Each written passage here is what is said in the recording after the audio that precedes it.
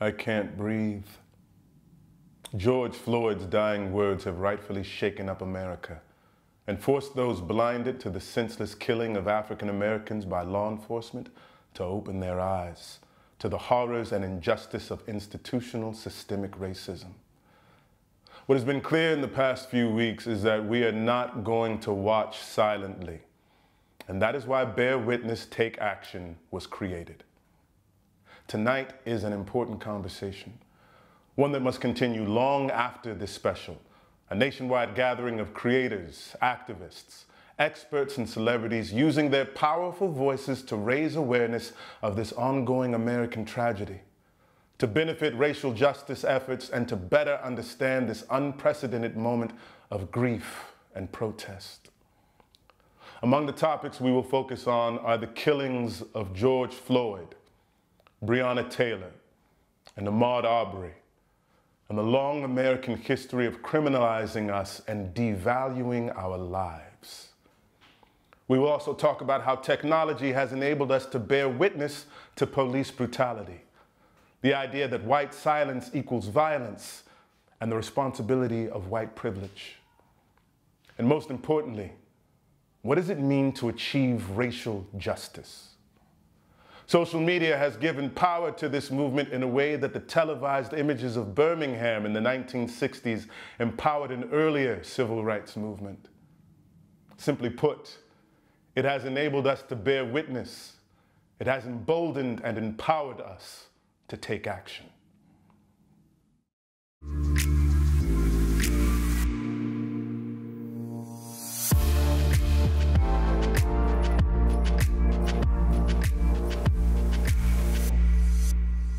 Good evening. I'm Keke Palmer. Peace, I'm Common. Bear Witness, Take Action will address the challenging issues we're facing through dialogue, videos, and music. Tonight, we'll be hearing from a wide array of voices as we write a new story for America. We will give context and explore and explain how we have arrived at this point in time and in history about the painful journey from 1619 to 2020, we hold ourselves and those in power accountable. As James Baldwin said, not everything that is faced can be changed, but nothing can be changed until it is faced. Ahmaud wasn't killed because he was doing a crime. Why would he have been targeted if it wasn't just for hate? It could have been my son. It shouldn't be. It shouldn't be. I don't know what happened. Somebody kicked in the door and shot my girlfriend. As we supposed to feel protected by the same people out here harming us. Please. Please, I can't breathe. Please, man. You can see police here now firing tear gas into the crowd.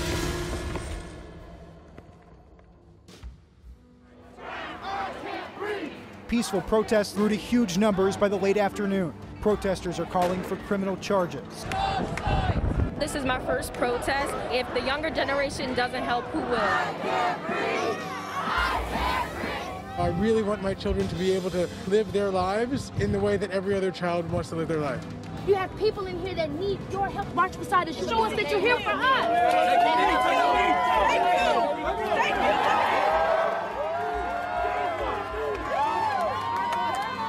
No justice! No justice! Black lives! Former officers are all in custody this morning on charges of aiding and abetting murder. Change is not going to just happen on its own. We are the ones that need to make the change.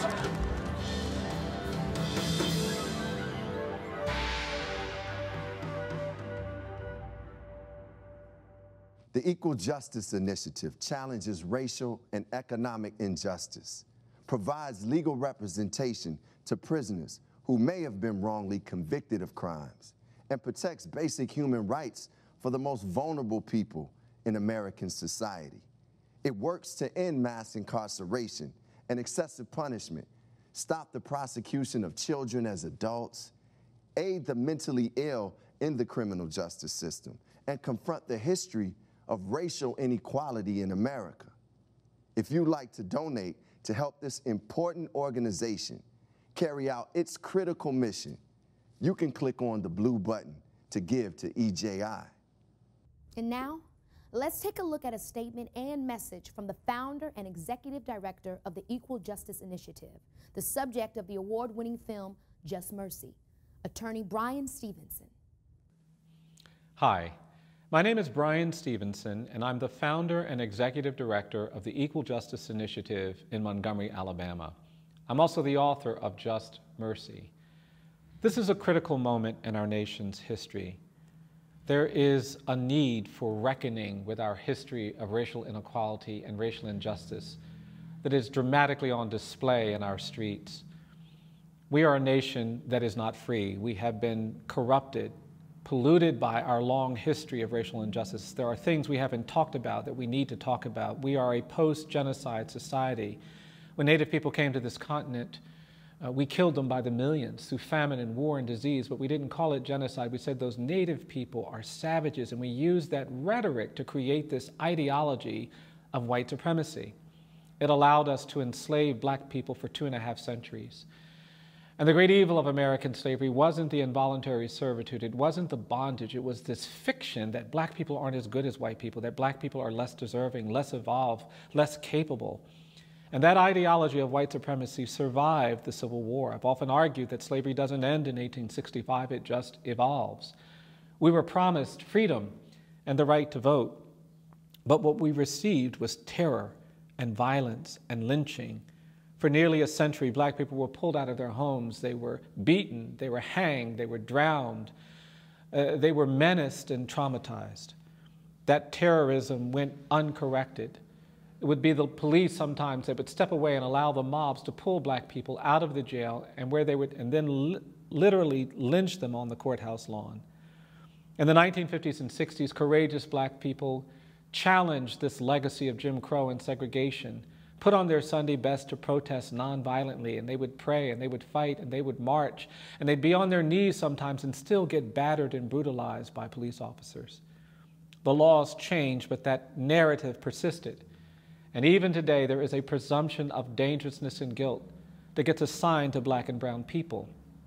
And you can be an actor, you can be a musician, you can be a teacher, you can be a clergy member, you can be an engineer. It doesn't matter how hard you work or how much money you acquire. You will go places if you're black in this country and you'll have to navigate these presumptions of dangerousness and guilt. I've gotten old enough to tell you that it's exhausting.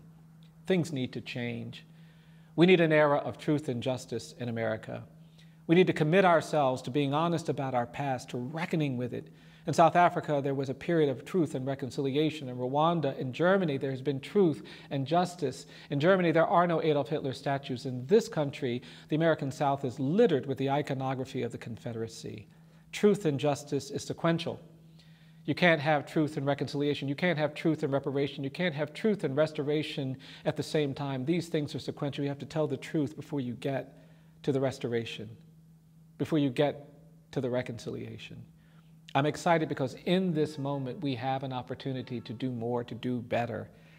I believe there's something better waiting for us in America. I think there's something that feels more like freedom, feels more like equality, feels more like justice waiting for us. But to get there, we're going to have to commit to reckoning with our history, to telling the truth about our past, to engaging in important dialogue and conversations. I'm excited that you are having some of those conversations. You are part of this effort I want to thank you for that and invite you all to come and see us in Montgomery, but more than that, to invite you to continue being part of this process to change America, to lift up truth and justice. Let's begin with our first in a series of fully remote roundtables. The Pledge of Allegiance we all were taught as children ends with four powerful words and justice for all. Tragically, that is all they are words because justice has never been the reality for our community and for so many others across America. Although those words do not ring true, we still have hope.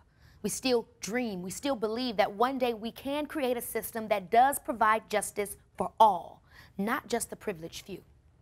To lead the discussion on how that can come about, how we must rethink things, how we can reimagine equality and lasting racial justice. Here is Soledad O'Brien.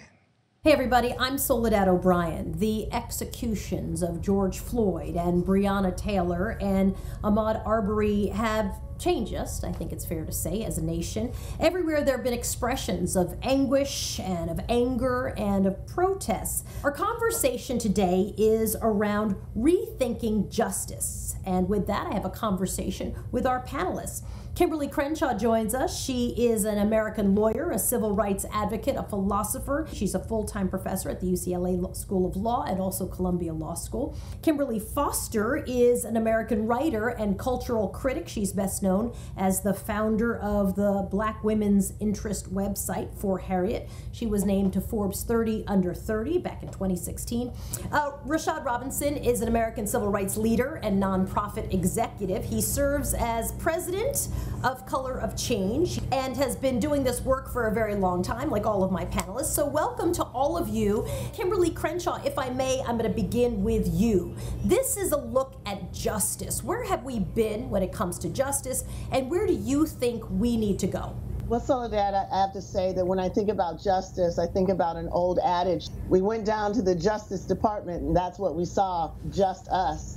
And I think what we're talking about now are the various means and mechanisms where the precarity of Black life is at the center of policy, and that drives the actions of legislators and opinion leaders and activists moving forward.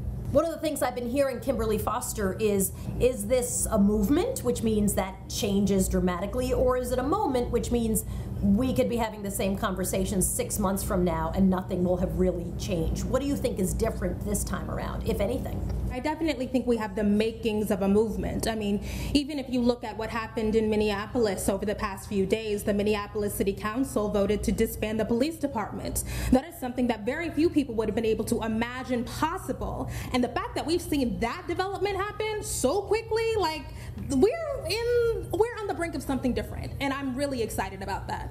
Rashad, I'm curious, what's different now? And when we talk about dismantling or defunding the police, what does that exactly mean to you?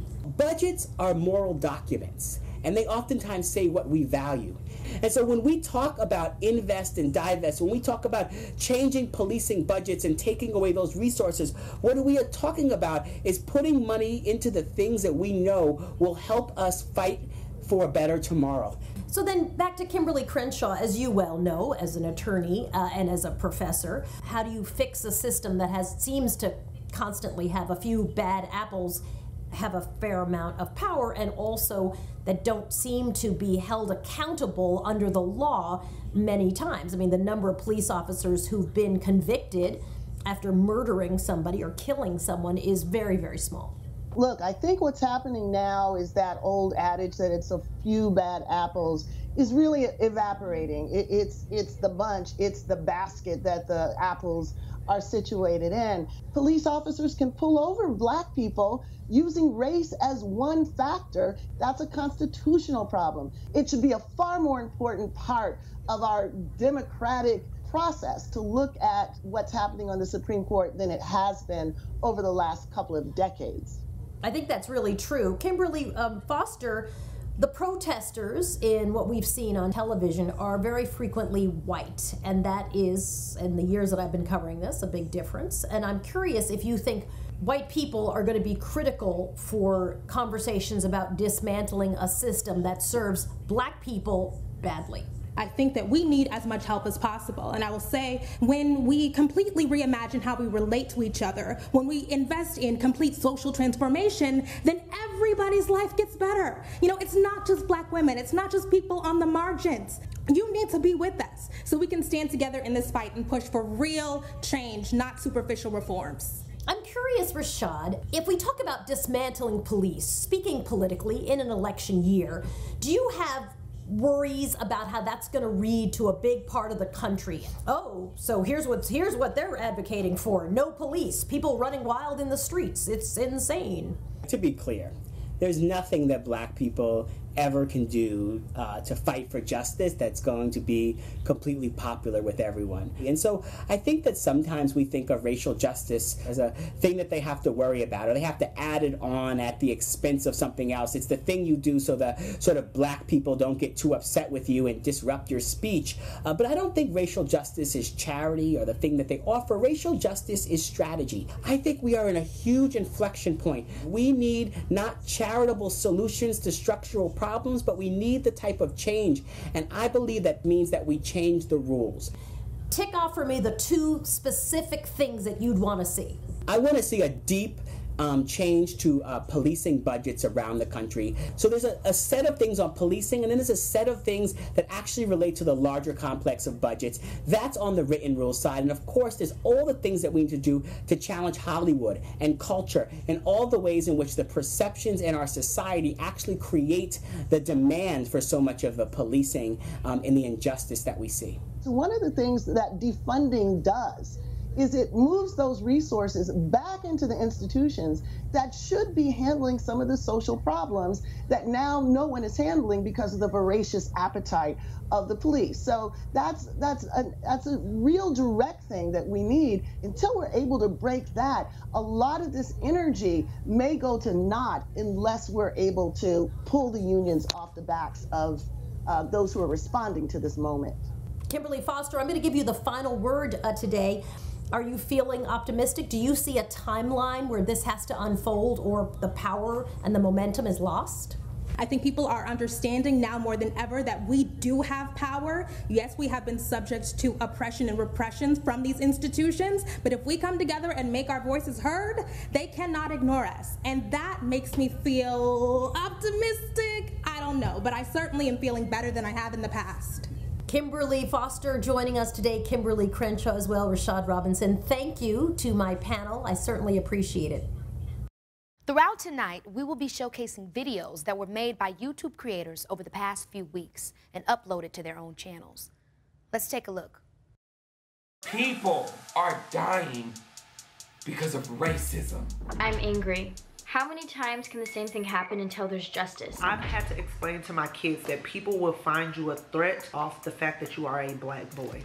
The world is safe for white people. The color of your skin protects you. My dad gets uncomfortable anytime I leave my house. This is the world that my boys have to grow up in. Things that my dad says to me, make sure you check in with your friends. Make sure that you're safe. I fit the description of someone who could easily be stopped by police and have their lives ended. We have a president that's tweeting out that we are thugs for peacefully protesting the death of a man who was murdered for absolutely nothing other than being black. But when white people are protesting and rioting because their hair salons and nail salons aren't open due to a global pandemic, they're called nice people.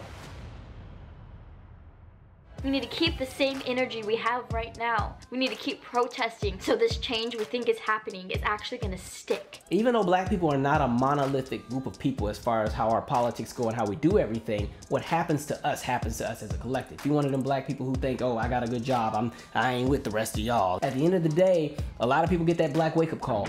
Not only is racism obviously unacceptable, but we actually have to actively work against it. Because my livelihood is, is tied to this this platform, it's easy for me to get uncomfortable and say, hey, I don't got to do this. Like, just post a little black square. Unfortunately, that's not gonna be sufficient enough to ensure that I have a future on this planet Earth. I am tired of seeing our black men die. Cops are violent to black people, and that is a well-known fact. Every day, people who are supposed to protect us are killing us. There's an issue of injustice, there's an issue of racism, there's an issue of power. There's a social contract that we all have, that if you steal or if I steal, then the person who is the authority comes in and they fix the situation. But the person who fixes the situation is killing us. So the social contract is broken, and they are lucky that what black people are looking for is equality and not revenge. Our second roundtable will focus on what is happening now that is different from Ferguson, Eric Garner's death, or any other moment in American history. Once again, leading this panel is award winning broadcast journalist Soledad O'Brien. Hey everybody, I'm Soledad O'Brien. Thank you for joining us for this special social event broadcast. We are about to explore the criminalization of African Americans in this country. We're also going to break down what institutional racism means and how laws are used disproportionately to affect black people. Joining me today, YouTube creator Amber Whittington, American civil rights activist Alicia Garza, and the CEO of We on Records, Minnesota Fats. Talk to me a little bit, um, if you will, uh, Alicia, because this has been so much of your civil rights work, where you saw the roots and why Black Lives Matter, which you co founded, became such an important part of that conversation. As you well know, years ago, it was very hard to get people to embrace it. Today, people are marching in the streets chanting it. So, first and foremost, what we know is that policing in black communities has always been incredibly contentious. And it's been contentious for a few reasons. One, black communities have intentionally been disinvested from over time, whether that be resources for hospitals, resources for grocery stores and fresh food, resources to be able to have impact over the decisions that are, are shaping our lives. Black communities have been essentially rendered powerless inside of a series of structures that make rules on our behalf that organize and shape our lives. And so the role of policing then in that context has meant that often police are a force in our communities that frankly are used to control and contain uh, people who have been denied access to the things that make us human and the things that we need to survive and live well. And you've heard, you know, across the nation that policing in affluent and white communities always looks very different than it looks in black communities, whether they're affluent or not. And so I, I think it's important for us to understand that Black Lives Matter really comes out of uh, this, this framework around what happens in black communities and to black people, not just at the hands of law enforcement, but as a result of a long time disinvestment in our communities that has left us without the political power, the economic power, and the social power to live as all Americans should be able to live. Minnesota, Alicia mentions that policing in white communities looks very different than it does in black communities, and I would add to that voting looks very different in white communities than in black communities, and grocery stores look very different, and schools, public schools look very different. Where do you see the crisis being solved? We have a, a very uh, complex problem here. Um, policing's origin is known to come from slave catching. You know, we have been uh, systematically um, focused on from the beginning, you know, oppressed from the beginning in these situations. So because you don't have adequate, you know, health care, you're, you're, you know, you're sick, you're mad, so you can't pay attention in school. Now you don't have adequate education, so now you can't go out and get a job. And then you, you know, you then you go out and you do things and, in, in in society that feed into a stereotype because you're trying to feed your family. Now you're a criminal. This problem has turned so complex. We have trauma within the community, and partly a big part of that is mass incarceration. And it started from the crime bill and what has happened and the effects of that since that point, as well as a lot of other factors. So the U.S. is only 4% of the population in the world right? But 20, we have 25% of the world's incarcerated people.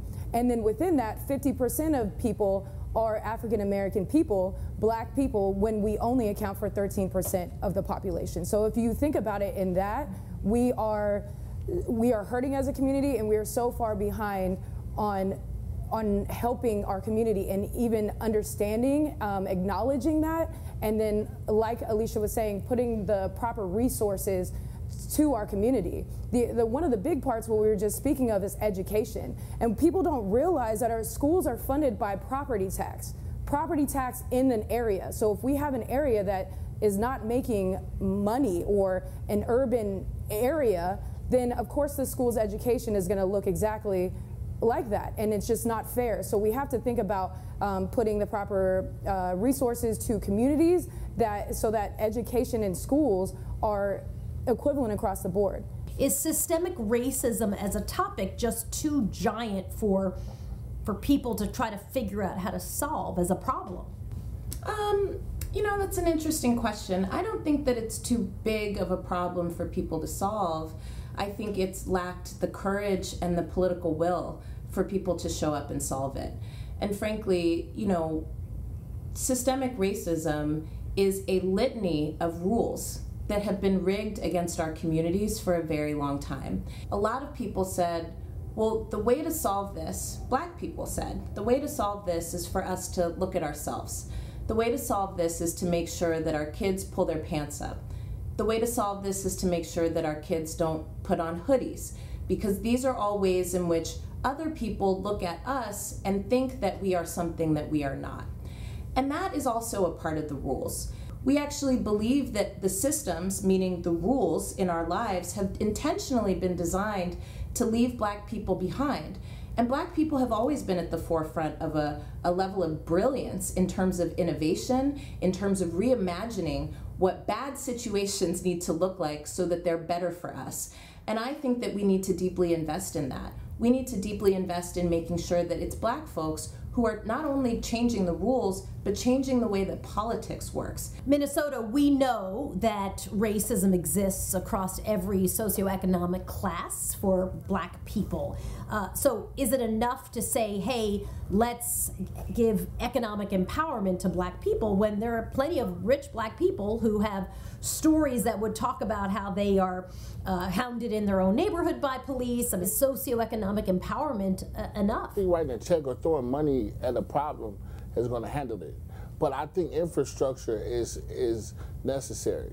When you go to the hood and you see a kid who's 10 years old like me, and at 15 or 16 years old, you can have $100,000 in your, in your bedroom from doing things around your neighborhood, whether it's running packs or raking lawns or whatever. You know, this person is a, a businessman.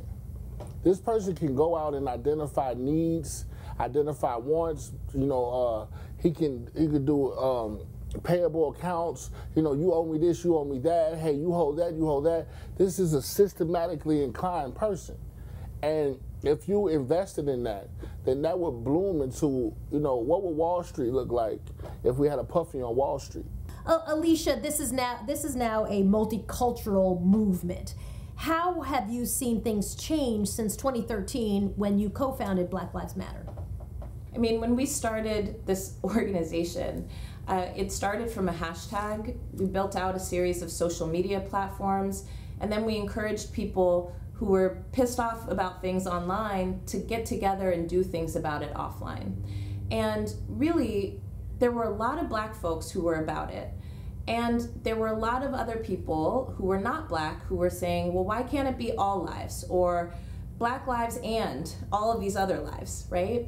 And we had to do a lot of work because, frankly, we had to explain that, sure, we also want all lives to matter, but that's not the world that we live in, and that's the world that we're fighting for.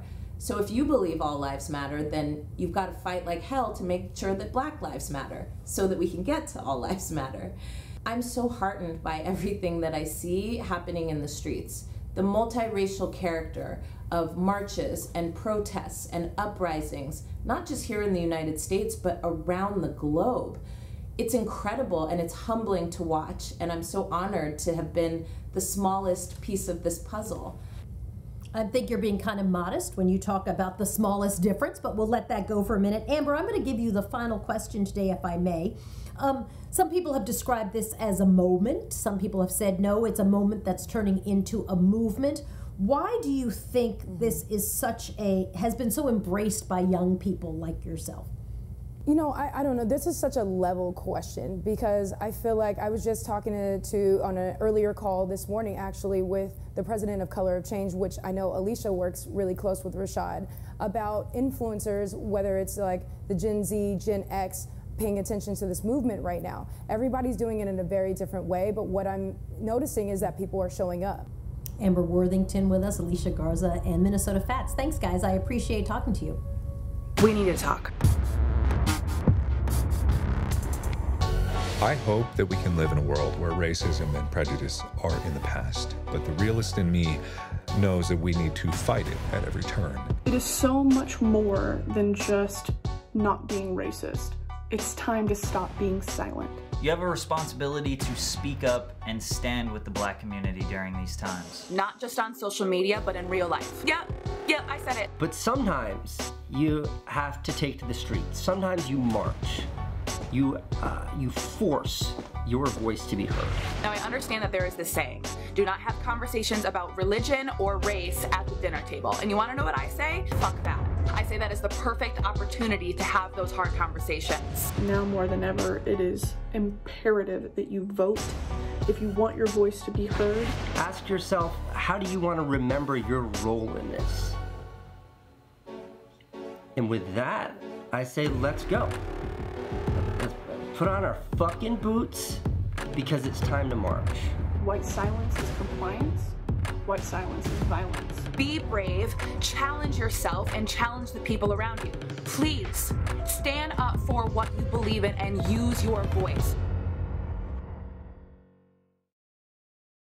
Our next panel deals with a very complex subject, but we will focus on a few top line questions that get us to the heart of the matter. What is white privilege? How and why has that privilege been weaponized? Whose obligation is it to end a power that has been used to oppress tens of millions? To lead the discussion on the responsibility of white privilege, please welcome back Roland Martin. Hey folks, Roland Martin here, host and managing editor, Roland Martin Unfiltered. Let's continue our conversation dealing with the issue of race in America. What is the responsibility of white privilege? My guest, Chad Smith, a comedic YouTube content creator with over 800,000 subscribers and 44 million views. Also, Michael Skolnik. He is an entrepreneur, film producer, news commentator, civil rights activist, and motivational speaker. Michael doesn't have enough to do. He's the partner and co founder of the Soze Agency. Previously, he was the president of GlobalGrind.com. And closing us out, Eddie Glaude Jr., an American academic, chair of the Department of African American Studies, and the James S. McDonnell Distinguished University Professor of African American Studies at Princeton University. It's a double sided business card, Eddie. He's also an MSNBC contributor. All right, folks, let's get right into it. Uh, Michael, I want to start with you. You're the resident white guy in our panel. Um, the responsibility of white privilege. We're seeing companies responding, we're seeing politicians, but are we seeing a real response to race in America? Well, Roland, I've certainly gotten older over the years and I've seen a lot in this country. It is not enough for us white people just to recognize our privilege or speak of our privilege or talk about our privilege. We must act uh, on that privilege and we must act to dismantle the systems and the structures that hold up uh, the 400 plus uh, year history of racism in this country. So, as an ally, uh, I have spent the majority of my life to move from an ally to an accomplice. It is no longer good enough just to be an ally. It's no longer good enough just to say, I'm going to show up for black people. I'm going to show up when people have asked for me to show up. We also have to show up when they are not asking. We have to show up when they are not the ones in the street. When we are in our family rooms or in our dining room tables or having conversations at our jobs. Eddie, you're at Princeton. You, they've had dealing with these issues. Uh, Woodrow Wilson, very racist president. Uh, that's this has been an issue on college campuses too. Yeah, absolutely. I mean, the way in which Princeton narrates his history, black folk are like latecomers. We are the recipients of charity. We're not integral parts of the story of Princeton. And so part of what the students were demanding in that moment is, is really how do you tell a story of Princeton that is not heralding a past, but actually uh, is aspirational, that actually reflects the current Princeton of today and the values that animate and organize uh, the institution. And this is really important. Usually, when there's a critique of white allyship, what, what, is, what is being spoken of is that there is a view of racial justice that's being held and, and, and proposed by our quote unquote white friends that's philanthropic in its orientation, that they view racial justice as a charitable enterprise, something to be given, right? Um, and as long as we think about racial justice in that way, we're caught within the frame. So we have to have our white brothers and sisters deconstruct this idea that racial justice, that justice, period, is a gift that they can give to anyone. It's not theirs. to give anyone because it's not their possession. Uh, Chaz, in Dr. King's book, Chaos or Community, Where Do We Go From Here? He literally talked about that. He said how white America was not fully prepared to even deal with the history of this country because they've never really confronted it. Isn't that the same with white privilege? That there are people who say, wait a minute, I don't have any white privilege, and they're white. Right, right. White people believe that they don't have privileges because they just don't experience what we experience as minorities. I can say that myself as a man, I don't experience the same things that a lot of women do. I realize, whoa, okay, there might be something else going on here. Michael, is part of the problem the phrase white privilege anyway? Because when people hear that, they think, oh, privilege means, oh, rich people. And so there are people who say, I don't have any money, I'm broke, so therefore I don't have white privilege.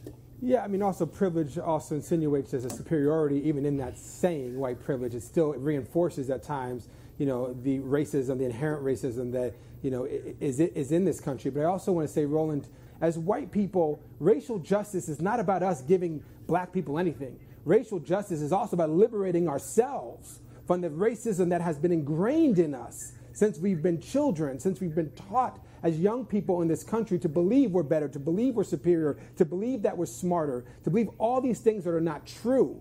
And so, our job of recognizing that that privilege inside of us is to relieve ourselves of that cancer, which is racism, to get rid of it so we can liberate our minds and be in much greater relationship with those black brothers and sisters and Latinx brothers and sisters, and AAPI brothers and sisters. So we have removed ourselves of that disease of racism or uh, relieved ourselves of that disease of racism or elevated our minds to a greater level of consciousness by doing the work to recognize what we have and what that privilege does to us, which creates that cancer and creates that disease, which I don't want. And for my white brothers and sisters who are watching out, I promise you, you don't want. It is part of the problem, and I'm not letting anybody off the hook, but this is part of the problem that we're dealing with white folks, just like black folks, who've had to learn his story and not actual history.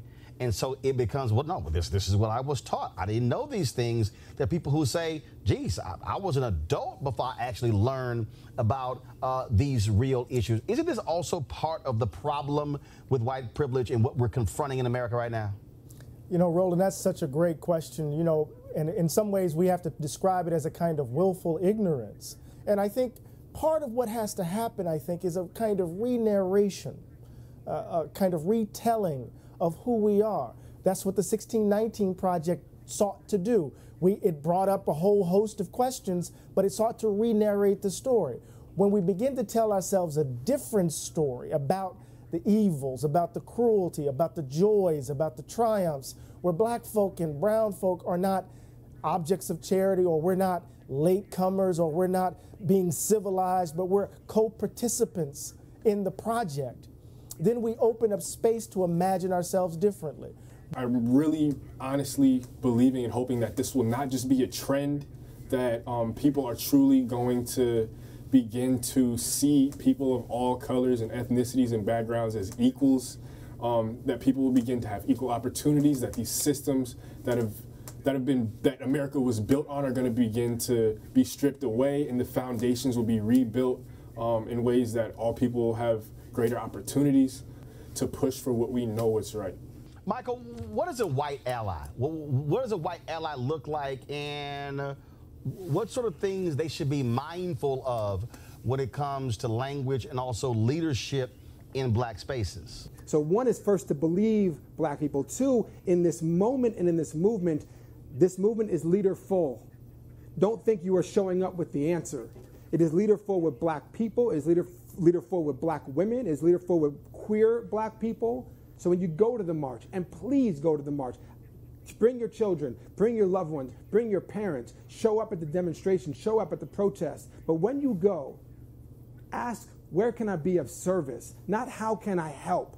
Where can I be of service? Should I march in the back? Should I march in the side? Should I put myself in between the police and you? Where can I be of service? So, first is recognizing your place in this moment. And so, in those moments, speak up, stand up, say something. It is not about getting kudos or getting applause on social media or your black friends saying good job. It's about you knowing who you are as a human being and you, who you are as a white person and saying that I am not going to witness this and be silent. That to me is the next step of where us white people have to go beyond allyship into a level that this is, as, as Eddie said, this is not charity work. This is liberation work for us too. Mm. For to carry that disease in your head, when you get cancer, I'll shut up. I speak too much. But when you get cancer, people tell you, "I hope you get through it. I hope you f cancer." Racism is a cancer. Get, I want it out of my system. I have to do the work to get it out of my system. And I, I, I beg, I urge any white person watching this who feels that sensation of racism inside of them to look deep inside of them and say, do they want to live a life of fear, a life of hate, a life of pain? Or do they want to live a life of joy and liberation and freedom? Jimmy Baldwin makes a distinction in the evidence of things not seen between white people and people who happen to be white. And he says, I love, I happen That's to love right. a lot of people who happen to be white, and then there's white people. And he's trying to get, oh, get us the sense of what the ideology of whiteness is doing to overdetermine how mm. one understands oneself. Michael Skolnik, Eddie Glaude, Chad Smith. Gentlemen, we appreciate it. In there, you get loud. To support our performance. To voice your opinion. To push us past the finish line. Paint your signs and paint your faces and match your colors and chant with the crowd. And there, you put us on your back, while we put the city on ours. And there, our triumphs are yours. Because when we win titles, we're all champions, right? And there you ask us to move the chains, apply pressure, go for the jugular. You scream our names and wear our names and protect our names because we're supposed to be family. In there. But what about out here? Are you willing to scream for these names out here? Are you willing to paint and chant and walk past the finish line with us out here? You see, in there, you make noise when the game is on the line. Are you making noise when our lives are on the line? And there we said, liberty, justice for My all. heart was broken. Obviously, Trayvon Martin situation. We're highlighting a long the parents time of 400 years Tamir of systemic and oppression. John Crawford. Did the message get lost out here? And there you tell us to move the chains. But are you helping us break them out here? And there you tell us to go for the jugular. But are you stopping the system from going for ours out here? You want to protect our legacy in there? Protect our rights out here. You want to be champions in there? Champion our cause out here. If you cheer for us in there, stand with us out here.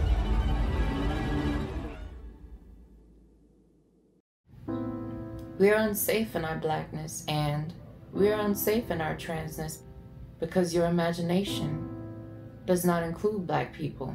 When black is the trannies looking to to be liberated, there are many reasons why people refuse to choose to see beyond their own experiences and there is black trans death and black queer violence in there and behind each of those reasons and behind each of those opinions I don't want to die on the waiting list. So I'm done asking, can I come? I'm demanding that you come with me because our freedom begins with our freedom to be.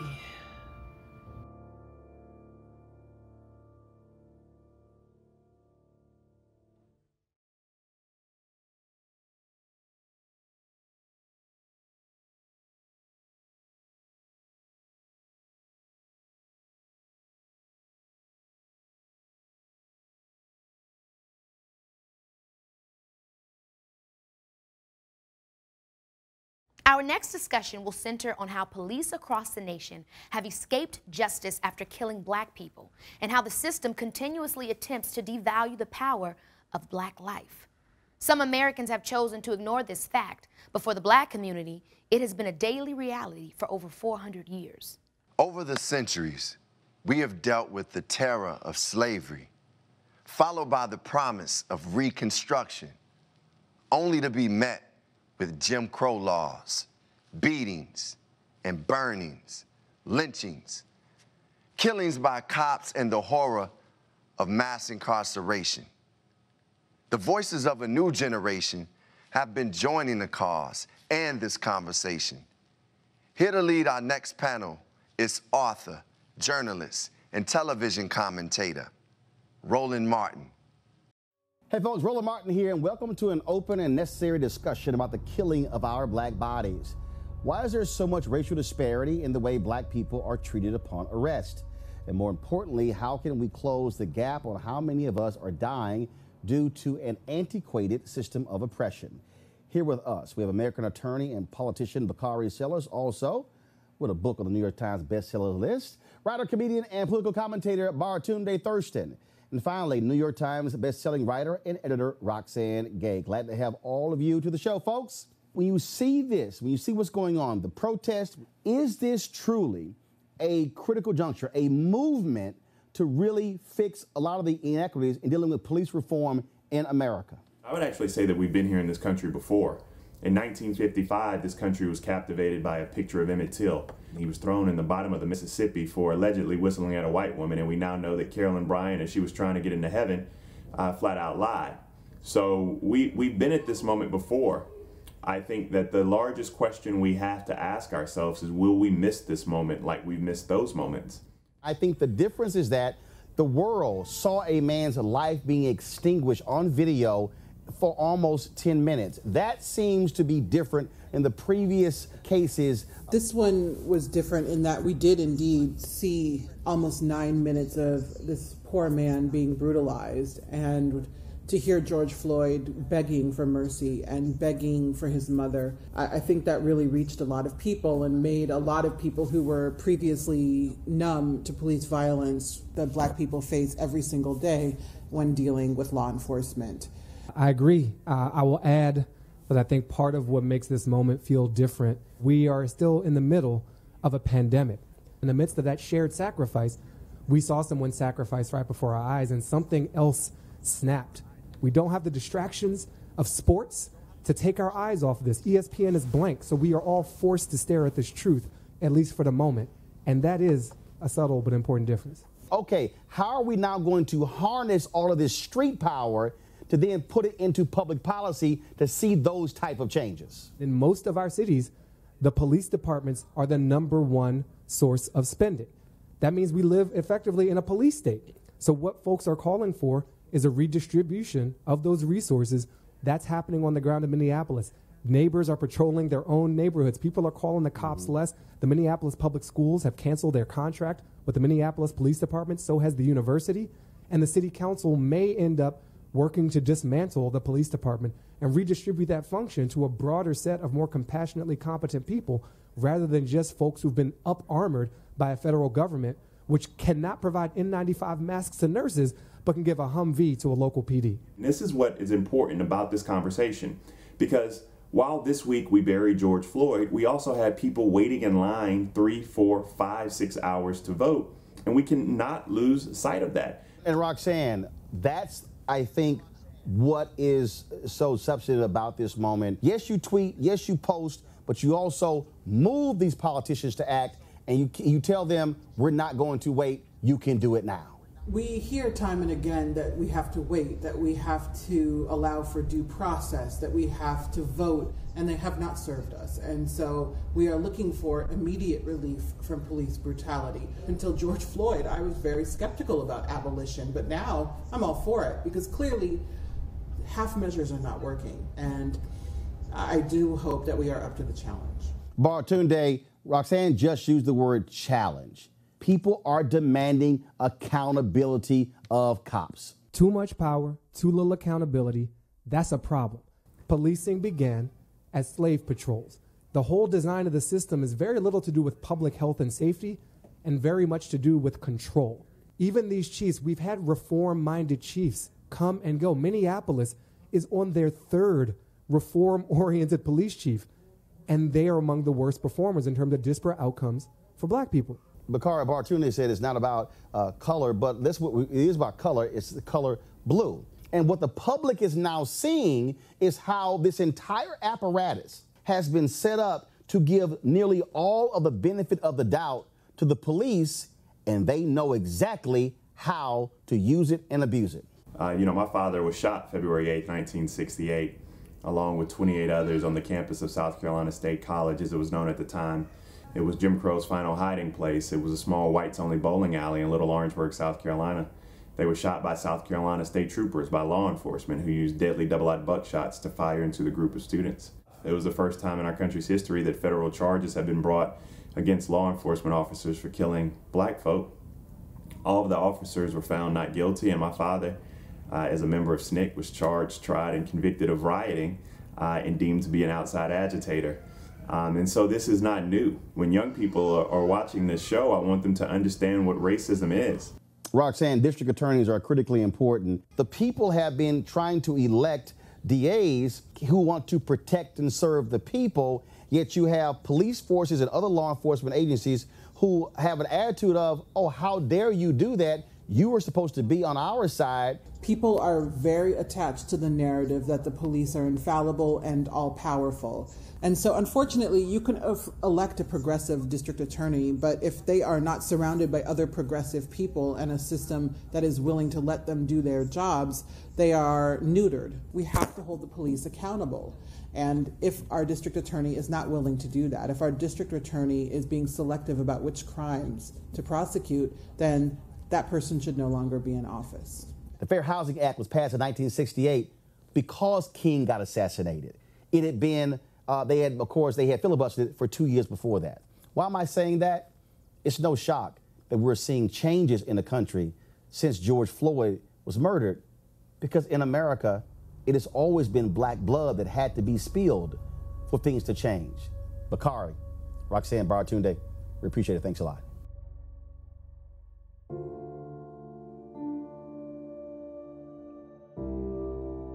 Dear George, Breonna, and Ahmaud, and the named and unnamed victims of racial terror and violence, may you rest in power. You should still be here with us, and we all feel the collective grief of that truth.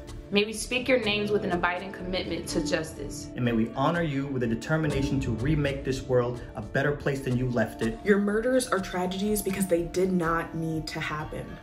But in a world that grossly devalues black life, you were taken from us far too soon.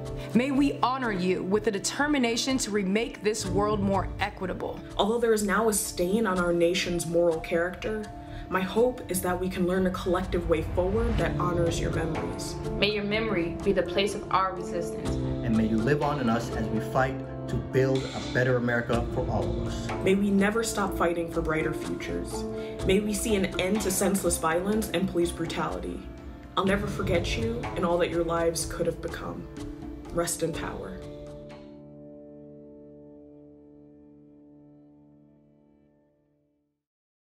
George Floyd, Breonna Taylor, Tony McDade, Ahmaud Arbery.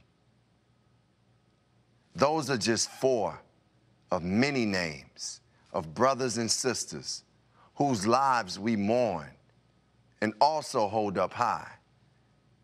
As we continue to pound for the sound of change, let's take two minutes. Let our voices be still and remember those taken from us.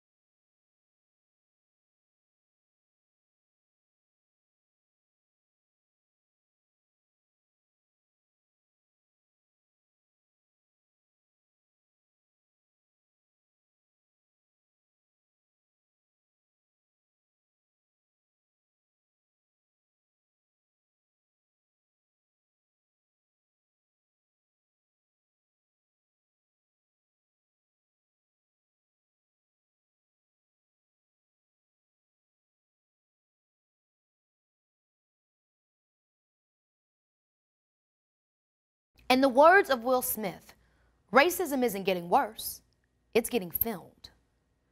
The violent and criminal actions of those who kill the innocent among us are being captured on phones and cameras, allowing our community, the nation, and the world to bear witness to police brutality and to the violence that others thought was in the past, but we have long known is ever present today. To moderate the roundtable on that very subject, once again, here is Soledad O'Brien.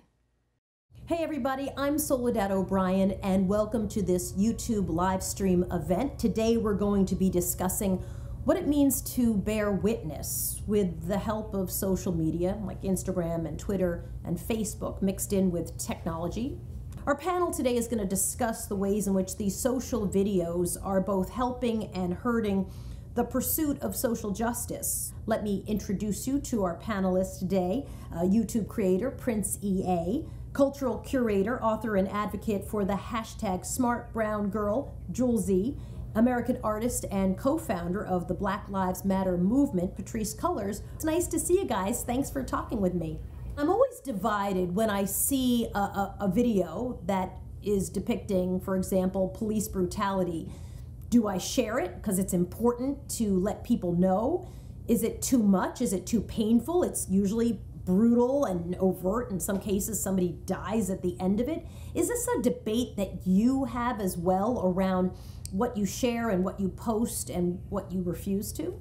Many of us um, don't watch the videos. Um, many of us have said that those videos um, are too triggering. Um, much of those videos are, are really for white communities who have claimed that black folks have been hyperbolic about what's happened to us. And they're oftentimes the first way that a family knows about what's happened to their loved one.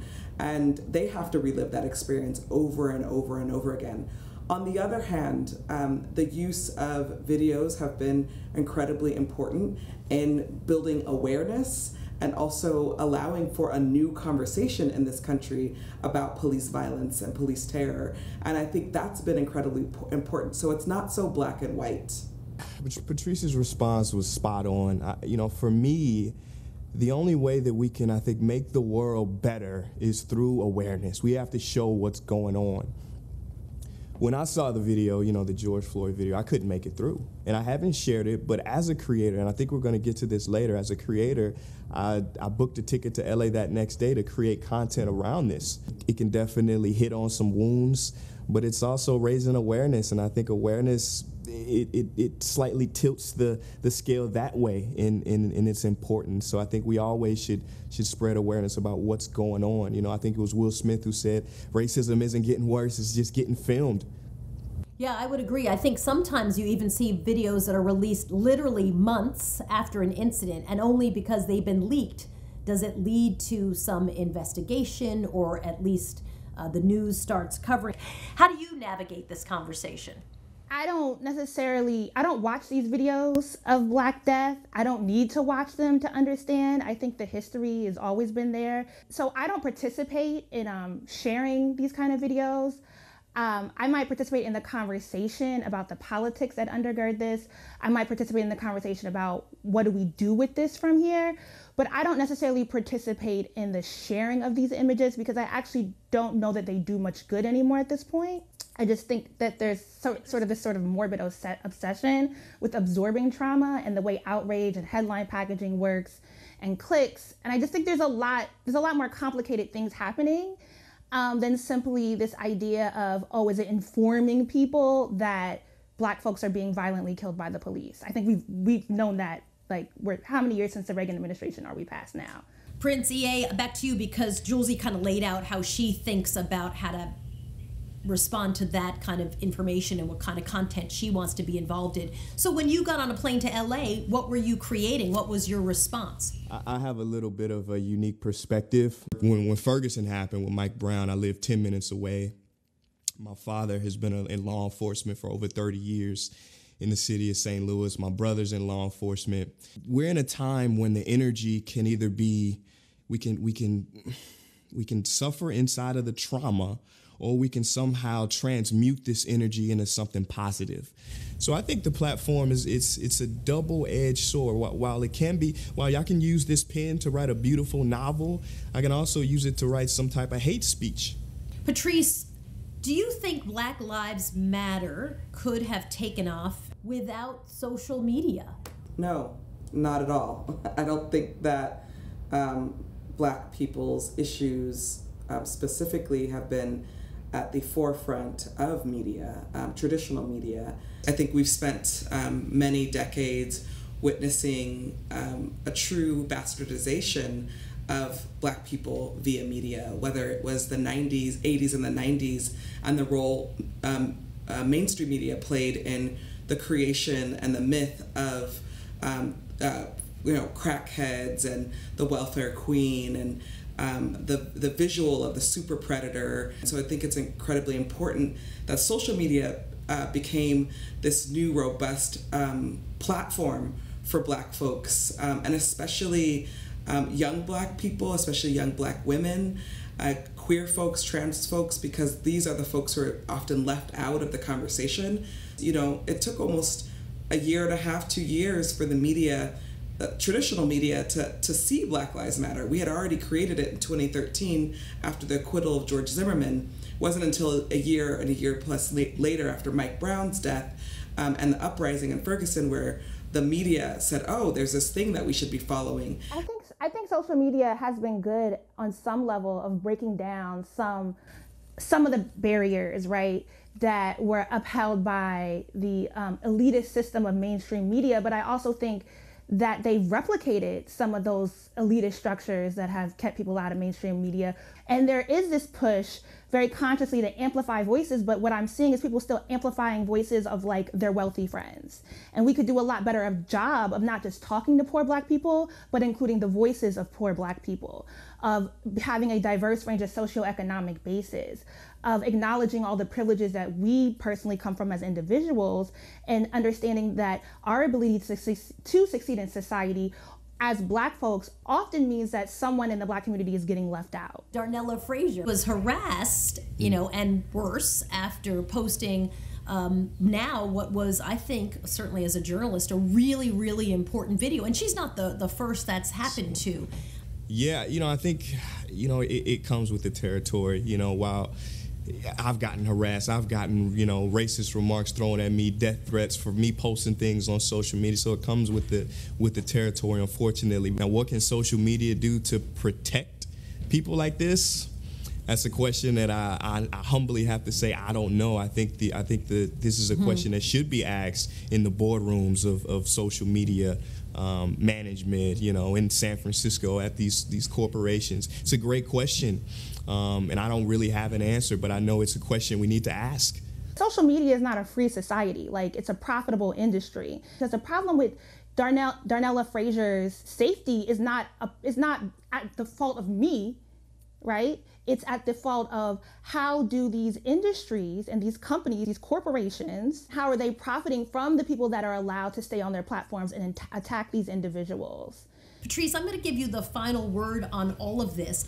Uh, at the end of the day, what does bearing witness mean to you? Someone like Darnell, do you see Darnella Frazier that down the road there'll actually be a way to protect those who are bearing witness? Is it important to make sure that they have a, an, an opportunity to share those stories as tough as they may be? Absolutely. I think um, this is a question not just for social media, but it's also a question for um, our own communities where we live and breathe with the rise of white nationalism and white supremacy is that you know for a long time people said well it's okay it's the right right for free speech. But we started to realize that that right for free speech that happened on social media often ended in someone's uh, losing their life in, in, in, in the real world and so we have to be careful about what we wish for we also have to be really earnest about what we demand and i think um, everybody who is speaking on behalf of black lives should be protected both online and offline. Patrisse Cullors joining us, Jouelzy as well, and Prince EA. Thank you so much for this conversation, guys. Appreciate it. Thank, Thank you. you. My pleasure. Good to be with you. In every fight for human rights and justice, there are heroes. And this moment also has many heroes. One hero I want to acknowledge and give deep thanks to is Darnella Frazier. It is because of Darnella that we bear witness to the modern day lynching of George Floyd. This young black girl, only 17 years old, took her phone and recorded the killing of George Floyd. Although Darnella was scared, uh, scared to hold her phone, scared to hit record, scared of the police and their unapologetic violence playing out in front of her, she still held up that phone. Darnella still found the defiant grace and courage to record what was happening. Like Emmett Till's mother, Mamie Till, who insisted on an open casket so that the world could see how her son was lynched and murdered. Darnella has insisted that the world see how George Floyd was killed. We thank you, Darnella. You are our hero. In a society where so many feel they are unable to speak out loud, music has always provided our artists and people an outlet, a widely accepted way to express ourselves without fear of suppression or retribution. To this day, as if 400 years of slavery wasn't enough. From the womb as a black man, we was born to be tough. Lynched, whipped, burned was the thing of the past. But to this day, jailed, raped, gunned. How long will it last? Being black is not a crime, but why does it seem like my people dying all the time? Over 200 years of subjugation and abuse. Sometimes I need you to acknowledge that my pigment itself has its own story. Uh, the, the, the, when I was 10 years old riding my bike down the street with my cousin, and, and a grown man stopped his car in the middle of the road to scream profanities at us and, and call us the N word. Tell me, what, what do you want with my ashes? My hair, my hip bones, my breasts, my bone marrow. Speak to me of your barbaric fascination with my skin. Dark like molasses, black like the night. United we stand. Together we fight. We're angry because we're victims of a systematic bias, and what we fight against in itself is the violence. If we cry, if we scream, if we protest on the streets, it's a sign to the world that we still have a heartbeat. There's Eric Garner, Breonna Taylor, Trayvon Martin, all died from, well, just being us. I will prance in your darkness. I will be big and masterful in my arrival. Swift in my exit, I will glow. Bare fangs, leave blood. There's beautiful people of all shapes and sizes and shades. And me acknowledging that they have shades and that they've had different experiences than me because of their backgrounds, it's not a bad thing. If we really want to make this country great, we have to learn to embrace love and drive out hate. We showed you nothing but peace. We done being quiet. To this day, to this day, to this day. Angela Davis once said, You have to act as if it were possible to radically transform the world. And you have to do it all the time. Over half a century after the civil rights movement, we continue to echo the calls for justice, the demands for freedom, and the need for concrete action as we chart the way forward. America needs a healing. Many people in this moment are making a choice a choice to speak, a choice to stand up, a choice to transform, and a choice to commit to break down the policies that have created this system and structure of injustice. To continue the conversation before the manifestation, leading the discussion focused on now, tomorrow, and the road ahead, the great Jemele Hill. Welcome, everybody. My name is Jemele Hill, and this is your final panel uh, for the night. Uh, and it's called Tomorrow, appropriately so. Where do we go from here? What does our tomorrow actually look like? How do we press forward? Uh, how do we achieve and get something out of all this momentum that has been built? Uh, with me tonight, I have a terrific panel that's going to help me sort through a lot of these issues and uh, hopefully give us some good words that will carry us through through tomorrow. I'd like to introduce first Baratunde Thurston, who is a comedian uh, who hosts a show on Instagram uh, live on lockdown. Uh, also is an activist and a writer. Speaking of writer, We also have another one in our midst, Kimberly Jones, who is an activist and writer as well. And you may have seen her recently because of a commentary she did on racism that went viral, that millions of people have seen, and many have called the best breakdown of racism that they've ever seen. Uh, a very deserved compliment and not hyperbole. And finally, last but not least, we have Andrew Hawkins, a former NFL player. And before Colin Kaepernick started his protest in 2016, Andrew Hawkins uh, called attention to the murders of Tamir Rice and also John Crawford. Thank you all for joining me uh, this evening. I'd like to open this up to the entire panel. Our very first question, um, and I'll start with you, uh, Baratunde. Um, what does a future without racism to you look like? Oh, that's thank you. I'm so used to getting asked, how do you feel? And that answer is terrible. I'm exhausted and I'm angry and I'm terrible. So, what does a future without racism look like? It looks prosperous. It looks like resources allocated in a just fashion. It looks like us being able to face a challenge like the climate crisis with the full capacity of our society with us because we have literally unlocked them from behind the cages where we put too many and made them be part of the solution. Justice is delicious, yo.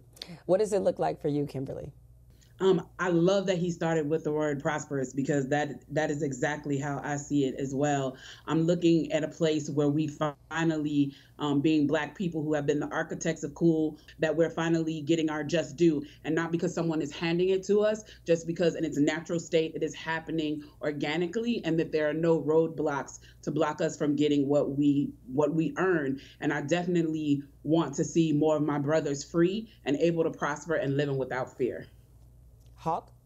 It's just due. I, I mean, that's the, the word that comes to my mind. I mean, I have an eight year old son and twin five year old daughters, and you know they're young and don't understand all these things and everything i teach them about working hard and everything will come to them you have just due it's a fair market it's competitive i'm an athlete i appreciate that and i think when you have that the amount of creativity we have as a people the source of energy and love and you know just kind of shaping the culture in america that's what no racism looks like. Look, I, am older than I look, so I'm older enough to remember when similar conversations were had with Rodney King. We've seen points and flecks in our history where these conversations have started, but they've never been able to be sustained. And certainly, I don't remember a conversation quite like this one. So, how do we take all of what's happening now?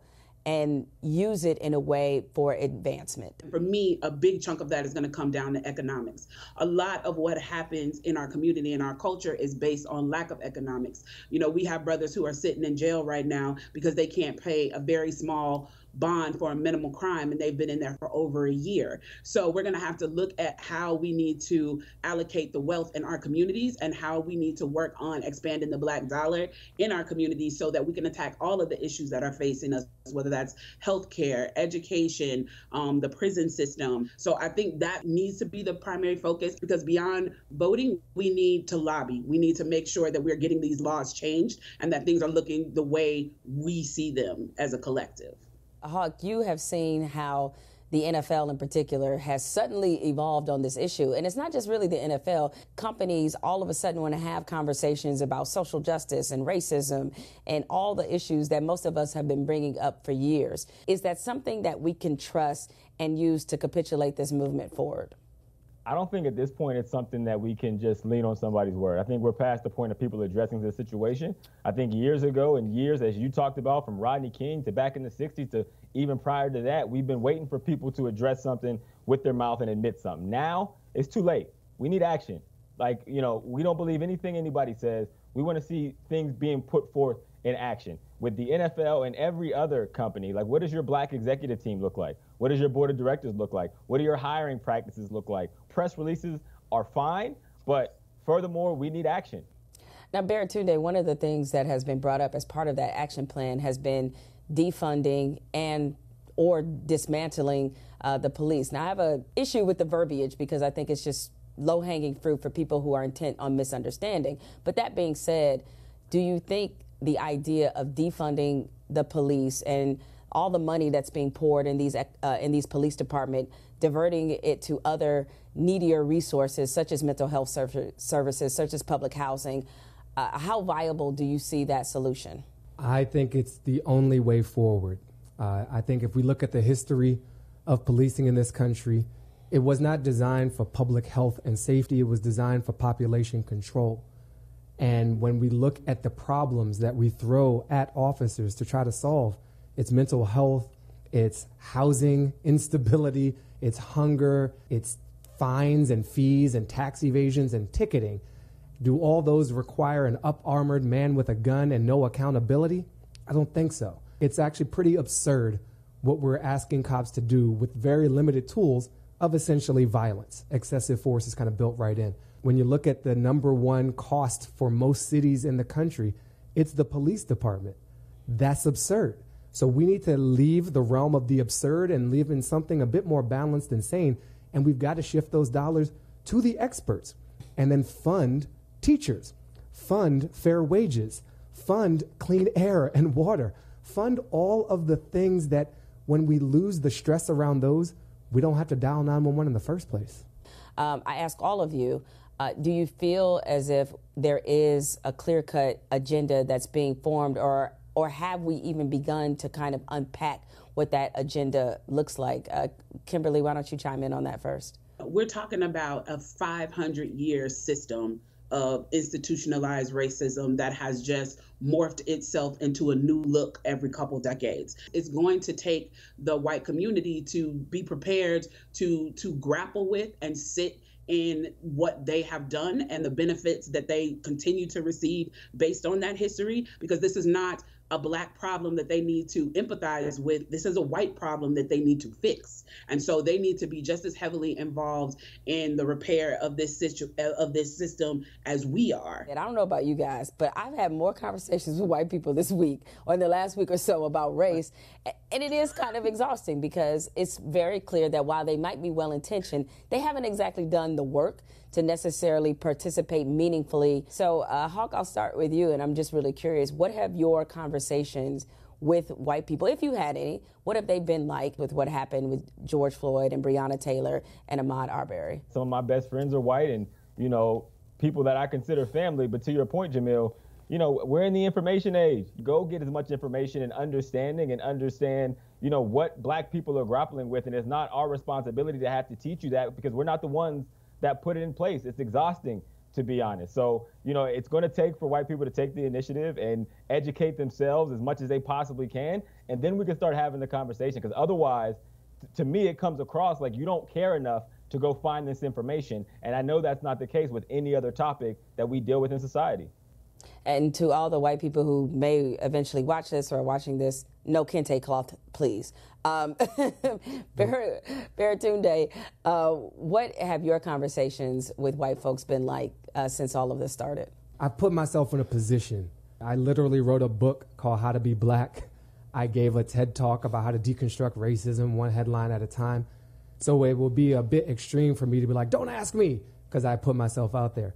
Years ago, I, I co hosted a podcast called About Race with a Latino woman, Raquel Cepeda, and a white man, Tanner Colby. And Tanner and I would have these conversations where I basically said to him, a lot of what we're saying right now, like, I'm tired. I've done all the teaching. Read the books. Go forth and prosper. And he's like, listen, Berton, if you leave it to white people alone, we will mess this up.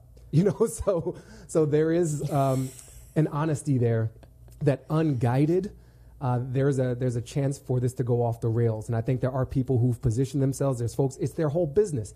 Pay a black person to help you figure this out. Buy the book. You know, support the independent film and continue to do that work. The title of this panel is about tomorrow. I want to ask each of you, and, and Hawk, I'm going to pass the baton to you first. We've come to a point of the apex of this conversation. It feels like this national conversation taking place about police reform and police brutality.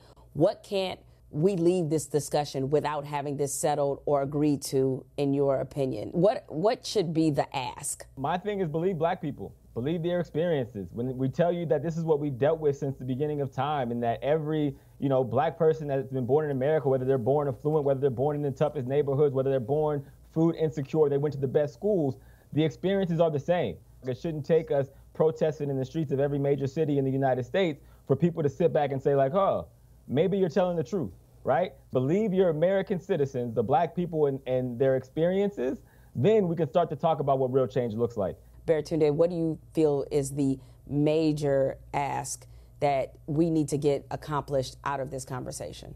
My ask is for white America to be invested in that future with us. it, it is not enough, uh, as has been said, to see this as a black problem. I want to help out the blacks. This is about helping out the society and creating, being as invested in an anti racist future as we've been invested in a racist past and present.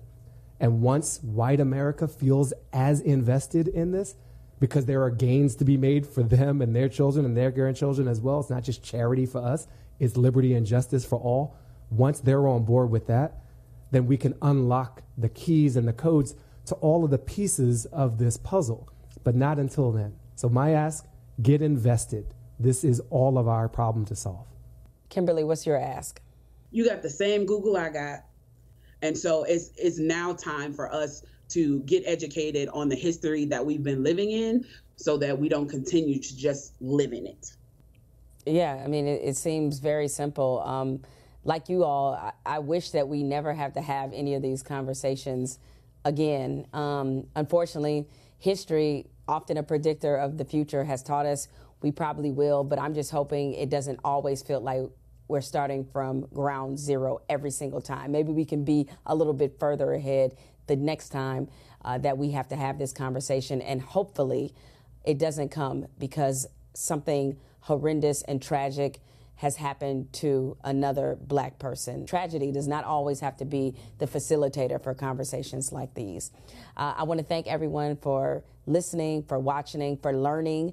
Um, make sure you use the Google, as Kimberly said, and stop asking black people about history that you can go look at for yourself. Uh, but more importantly, uh, stay engaged, stay involved, and as Baratunde said, stay invested. Uh, thank you and have a good evening. I think it's time for a change. I think we all see that. Change is going to happen. To make real change. To make real change. I will not tire until systematic racism is a thing of the past. We will stand up for what's right, and that's equality for all. We have a window in this moment. I will continue to use my platform to stand up for those who have been disenfranchised. I'll use my social media as a weapon against racism and bigotry and anything else in this country that needs to be torn down and rebuilt. I will listen so that I may learn and educate myself and others about what's going on in the world. To spread word on equality and justice. I will call my senators and local officials. I will stand up for the black community. I will continue to shine light on the issues that we're dealing with. And I think the more people know about it, the more effective that we can be. I challenge you to learn about those experiences. Educate yourself and your friends and family. Hold other people accountable. Speak up and have tough conversations. It's time to stop being silent. Because if we don't speak up and educate others, we won't make a change.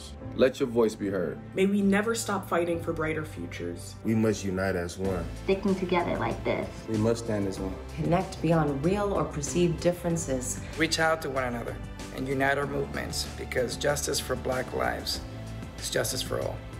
Empathy inspires a change of heart, which leads to a call to action, which leads to a change in legislation to make real change, you can do a lot of the same things I can do. You have to fill out your census. Vote, vote, vote. In all elections, midterms and presidential. You can fight to protect voting rights for all Americans. You can use your privilege to help in the fight against racism. You can march. You can protest. Make your voice heard as you fight for your rights. Because if we don't, if we don't, we don't, we are complicit. Because, because if, if we, we don't, don't, we are part of the problem. YouTube is a platform that celebrates a diverse set of voices. But we recognize we need to do more to be a meaningful and powerful platform for the Black community. We will work to center and elevate Black voices and perspectives. And we are taking steps to ensure that Black users, artists, and creators can share their stories and be protected from hate and harassment. We will take action and do our part to dismantle systemic racism. I pledge to you, in solidarity with you, that we will do this because we believe that Black Lives Matter. We are nearing the end of this incredible event. one that I hope has been inspiring, informative, and that has challenged us as a community and as individuals to take action.